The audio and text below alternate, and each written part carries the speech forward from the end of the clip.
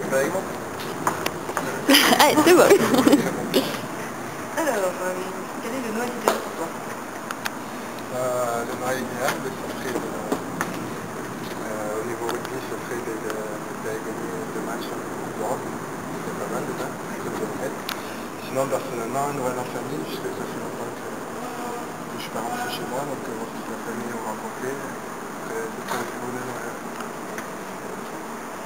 Euh, Ton plus beau cadeau de Noël Euh, mon plus que le Noël, un rasoir électrique, parce que j'ai cassé le mien, donc euh, ma mère le changer, et là c'est la, la cata. Ok. Euh, Qu'est-ce qui te plaît le plus dans les fêtes de Euh, de se retrouver, de bien manger, de profiter de la vie, comme je l'ai dit, de voir la famille, puisque moi, je suis dans une situation où je ne la vois pas souvent.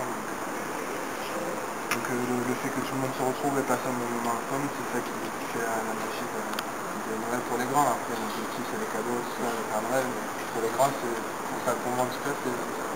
D'accord. Euh, comment t'en as-tu avoir cette année?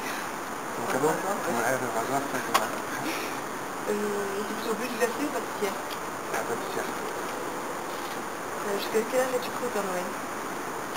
Moi j'ai cru jusqu'à bien 8-9 ans. C'est une copine à moi qui, qui m'a révélé que, que le Père Noël n'existait pas. Et alors là, c'est petit peu la déception. C'était euh, la, fin de, la fin du monde.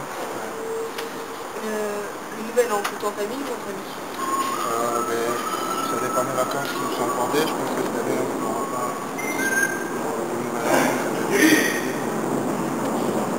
euh, À la montagne, ou bataille de montagne On a des euh, Plutôt vrai ou comme ça Euh, plutôt mais euh, enfin, dans l'investissement pour le ménage, euh, je suis top pour info. Souvenir de fête de fin d'année Euh, mon souvenir, euh,